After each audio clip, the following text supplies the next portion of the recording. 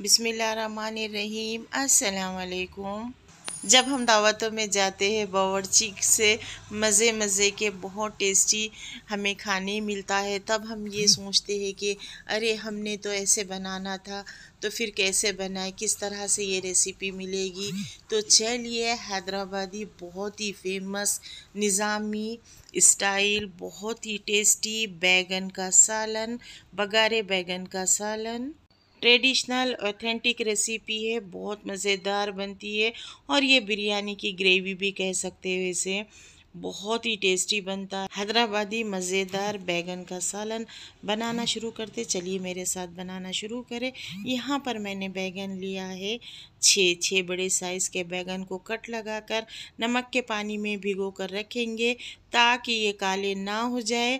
अगर इस तरह से काट कर छोड़ दोगे तो वो अंदर से काले हो जाते हैं तो ये तरीक़ा होता है कि बैगन को नमक में मिलाकर रखा जाता है। कढ़ाई में जैसे ही ऑयल गर्म होने लगे, तब यहाँ पर हम बैगन को ऐड करेंगे बैगन को अच्छे से फ्राई करेंगे। देखिए बगारा बैगन जो हैदराबादी फ़ेमस है ना, वो कच्चे बैगन से नहीं बनाया जाता है और इसे अच्छे से फ्राई करते हैं। देखिए, इस तरह से हम फ्राई करेंगे। ये जब फ्राई करते हैं ना बैगन, इतने मज़ेदार, इतने टेस्टी बनते हैं, जब ये मसाले में जाते हैं। बैगन को अच्छे से फ्राई करेंगे और कट इसलिए लगाते हैं कि बैगन का मसाला जो होता है ना, वो अंदर तक अच्छे जाए और बैगन बहुत मज़ेदार बने। एकदम मसाला वाला बैगन बने। मसाले का टेस्ट आए बैगन में, इसलिए इस तरह से कट लगाकर रखते हैं और इस तरह से ही बनाइएगा स्टेप बाय स्टेप फॉलो करिएगा। देखिए, मैं बैगन को बहुत अच्छे से फ्राई कर चुकी हूँ। अब मैं इसे प्लेट में निकाल कर साइड में रख दूँगी। एक एक करके सारे बैगन मैं प्लेट में निकाल कर रखूँगी और साथ ही मैं इमली को भीगने रखूँगी ताकि अच्छे से भीग जाए, उसका रस आसानी से निकल जाए। इस तरह से जब देखिए इस तरह से बैगन तो फ्राई हो गए, साथ में हमारी इमली जो हमने भीगने रखी, वो भी अच्छे से भीग रही है और उसका हम पल्प निकालेंगे। देखिए यहाँ बैगन के सालन के लिए यहाँ पर मैंने कुछ मसाले लिया है, खोपरा फली तिल, प्याज। देखिए, ऑनियन मैंने बड़े साइज़ का एक ही लिया है और कोकोनट, पीनट्स और सिसमे सीड्स को मैंने टू टू टेबल स्पून लिया है। इस तरह से हम मसाले बनाकर रेडी करेंगे।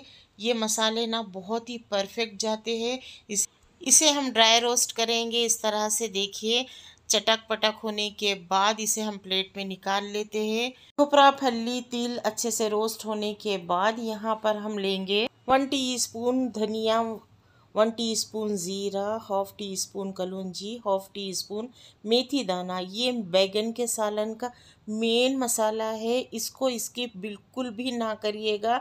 ये मस्ट डालना है। ये ज़रूर डालिएगा।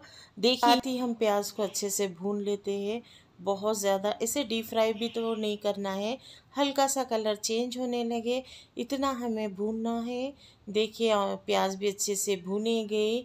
चलिए अब हम ये मसालों को ग्राइंड कर लेते हैं। एक अच्छा फाइन सा पेस्ट बना लेते हैं। यहाँ पर मैंने सारे मसालों को अच्छे से ग्राइंड कर लिया है प्याज के साथ। देखिए इस तरह से। और चलिए अब हम बनाना शुरू करते हैं। बैगन का सालन। यहाँ पर मैंने ऑयल ऐड किया है। आप अपने टेस्ट से डालिएगा।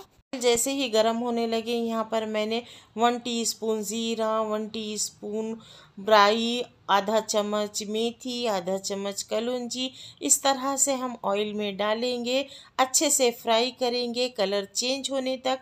साथ ही मैंने करी लीस और ड्राई रेड चिल्ली ऐड किया है। इस तरह का जो बघार होता है ना, बहुत ही मज़ेदार, बहुत ही यमी सा बघार होता है। अच्छा सा कलर चेंज होने के साथ ही जो हमने ग्राइंड करके मसाले रखे थे, वो मसाले ऐड करेंगे। अब इसे हम अच्छे से फ्राई करेंगे। देखिए, खोपरा फली तिल, प्याज, ये हमने मसाले लिया था और इसे अच्छे से हमने बघार लिया है। ये बघारे बैगन है, इस तरह से बघारा जाता है मसालों को। अब हमें इसे ऐड करेंगे वन टीस्पून भर के जिंजर गार्लिक पेस्ट और क्वार्टर टी स्पून टर्मरिक और यहाँ पर मैंने टू टीस्पून भर के लिया है रेड चिल्ली पाउडर। देखिए, आप अपने टेस्ट से सॉल्ट और रेड चिल्ली अपने टेस्ट के अकॉर्डिंग ही ऐड करिएगा। और देखिए, इस तरह से मसालों को फ्राई करेंगे। अब यहाँ पर जैसे ही हमने मसाले और बेसिक मसाले, जैसे red chilli ginger garlic paste turmeric powder जैसे ऐड किया है ना, इसके साथ, मसालों के साथ, हमें इतना फ्राई करना होगा कि ऑयल सेपरेट होने लगे। देखिए, यहाँ पर मैंने बहुत अच्छे से मसालों को फ्राई किया है। इतना फ्राई किया है कि साइड से देखिए कॉर्नर से ऑयल रिलीज़ होने लगा। इस तरह से मसालों को भूनना होगा। ये परफेक्ट भुनाई है बैगन के सालन की। मसालों को इस तरह से भुनाई करना होगा, तभी हमारा बैगन का सालन, हैदराबादी बघारे बैगन का सालन बहुत ही परफेक्ट बनता है।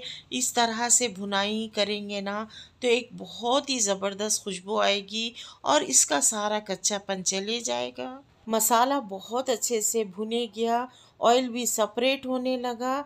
इतना भूनना होगा कि सारा ऑयल निकल जाए। जैसे ही ऑयल निकलना शुरू हुआ, यहाँ पर मैंने टोमेटो और बैगन लिया है। बैगन जो हमने फ्राई करके रखा था, चाहे तो आप टमाटर को कट लगा कर भी डाल सकते हैं। उसे हाफ़ पीस में भी कर सकते एक टमाटर का आप दो पीस में भी बना कर डाल सकते यहाँ पर मैंने टमाटर छोटे लिए थे, इसलिए मैंने वैसे ही टमाटर ऐड किए इसमें कट मैंने नहीं लगाया है। और इसमें हम चाहे तो आप टमाटर को भी फ्राई करके डाल सकते हैं।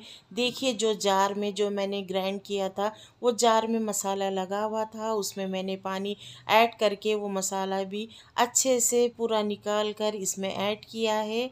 और ये होता है कि साथ पानी भी ऐड हो गया, मसाला भी ऐड हो गया। अब इसी में हम बैगन को और टमाटो को अच्छे से गला लेंगे, थोड़ा सा सॉफ्ट कर लेंगे। हाई फ्लेम पर बैगन और टमाटो को मैं पकने के लिए रखूँगी पाँच मिनट के लिए। जैसे ही एक बॉईल आएगा, पकने लगेगा, फिर मैं यहाँ पर इमली का रस जो मैंने भिगो कर रखा था स्टार्ट में टैमराइन पल्प ये इस तरह से ऐड करेंगे। इसमें खट्टा थोड़ा ज़्यादा ही जाता है, कम बिल्कुल भी ना डाले। खट्टा खट्टा खट्टा बैगन का मसाला बहुत ही मज़ेदार बनता है। देखिए, इस तरह से इमली का रस ऐड करने के बाद इसमें मैं ऐड करूँगी करी लीस कोरिएंडर लीस और ग्रीन चिल्लीस इस तरह से हम ऊपर से ऐड करेंगे और कड़ी पत्ते कड़ी पत्ते को हमने बघार में भी ऐड किया था और इस तरह से ऊपर से भी ऐड करेंगे। देखिए, कड़ी पत्ते का इतनी ज़बरदस्त खुशबू आती है, बहुत ही ज़बरदस्त फ्लेवर देता है कड़ी पत्ता। बघार में और ऊपर से इस तरह से ऐड करेंगे। देखिए, अब हम इस तरह देखिए, यहाँ पर इमली का रस ऐड करने के बाद इसे हम पकने के लिए रखेंगे पाँच से दस मिनट ताकि इमली का कच्चापन अच्छे से चले जाए।